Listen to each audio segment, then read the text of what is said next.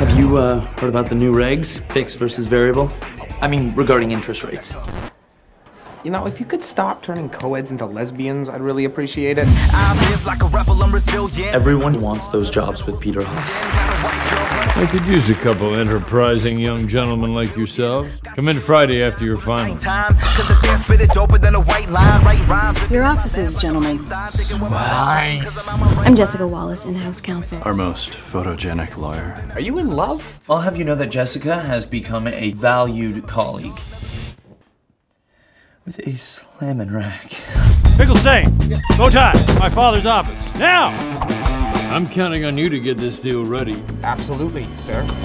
I don't give a f if this deal's bad for students. What's the worst that could happen? Another bailout? Peter's deal is going to bamboozle thousands of students. We can't let that happen. Peter's a financial genius. He probably just knows something we don't. That's called insider trading. Have you seen the end of Wall Street? No. I need to sneak into Peter's office.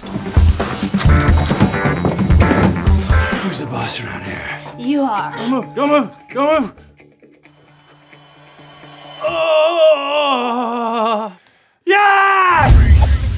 Let's get these fuckers.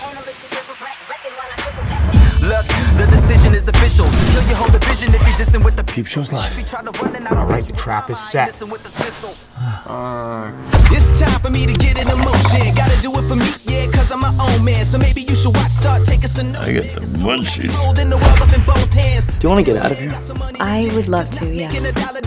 Hot wax, huh? We need like a safe word. Well, I thought you might enjoy a change of pace. Can't stop this now or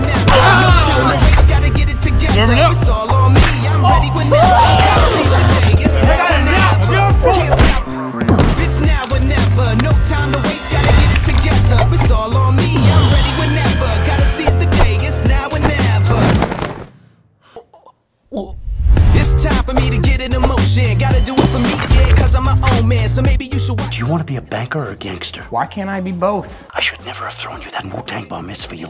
Cause not making a dollar doesn't make any sense.